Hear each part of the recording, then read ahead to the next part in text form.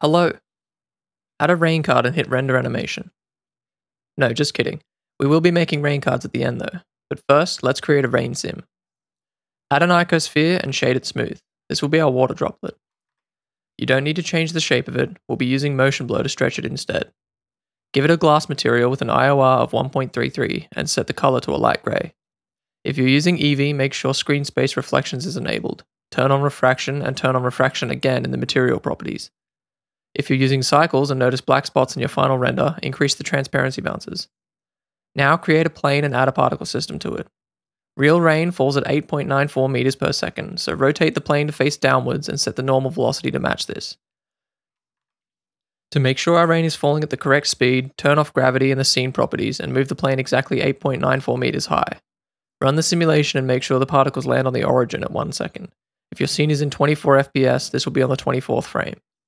Tweak the normal velocity until the rain hits the origin exactly at this point. This is important for calculating motion blur correctly. Here's an example render using an incorrect velocity. If you want the particles to fall at an angle, add a wind object or rotate the plane. To add some variation to the particles, add a turbulence force field and play with the strength. You can use a noise modifier on the strength of the wind to add variation over time. Now let's get to rendering. In the render options of the particle system, set it to object and instance our droplet. You'll probably need to lower the scale. This is when you can increase the number of particles to go anywhere between a light shower to a downpour. Now open render properties and enable motion blur. Try different position values to adjust the look. I used end on frame. You'll also want to increase the max blur amount and number of steps to up the quality. Keep the shutter value at 0.5. This is a 180 degree shutter angle and will give us the best looking motion blur for our frame rate. I recommend using an orthographic camera. Adjust the orthographic scale to fit the scene. This is useful to avoid focal length mismatching when using rain cards in scenes with different cameras. We can light the rain using an overcast HDRI since rain typically occurs on cloudy days. To make sure the HDRI isn't in the final render, enable Film Transparent. Then in the compositor, use an alpha over node to add the rain onto a black background. You can check Convert Pre-Multiplied and adjust the mix factor to dial in the look. When we create the rain cards, we'll just use the black background to control the alpha. This means we can export as an MP4 with H.264 encoding for tiny file sizes. I recommend trimming the exported rain in a program like DaVinci Resolve so there's no empty space in the rain when we loop it. To create a rain card, add a plane and set the scale to match the video resolution, then scale it back down to fit the scene.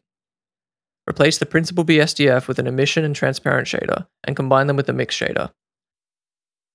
Plug the video color into the color socket of the emission and into the factor of the mix shader to control the transparency. Make sure you set alpha blend in the material properties if you're using Eevee. I tried alpha hash and had some issues. You can adjust the opacity by changing the emission strength and tweak the blending with the color ramp, Make sure cyclic and auto refresh are both checked. To create the splashes, first add a metaball object and scale it down. Now create a new plane, add another particle system to it, and set the render object to the metaball. Metaballs stick together based on proximity, and this makes our particle system look like a splash. Lower the metaball resolution to 0.1 to smooth it out. In the particle system properties, set the normal velocity to something similar to the rain sim. Increase the randomized value to add some random direction to the particles. I also set the scale randomness to 1. Finally, set the particle lifetime to something short like 12 frames, and bring the end time of the simulation down to frame 5. We only want one burst of particles. Render this splash to a single image. We'll use yet another particle system to create hundreds of little splashes. Import the splash image back into the scene and set it up in a similar way to the rain card. Now add one more particle emitter and this time set the render object to be the splash. You'll need to play around with the rotation of the splash in edit mode to make sure they face the right way in the particle system. Set the particle lifetime to one frame. Now render out the sequence, re-import it into Blender, set up the transparent shader and save it as an asset.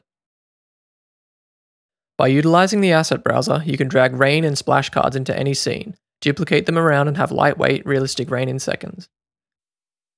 You can download the rain and splash card used in this video for free by clicking the link in the description.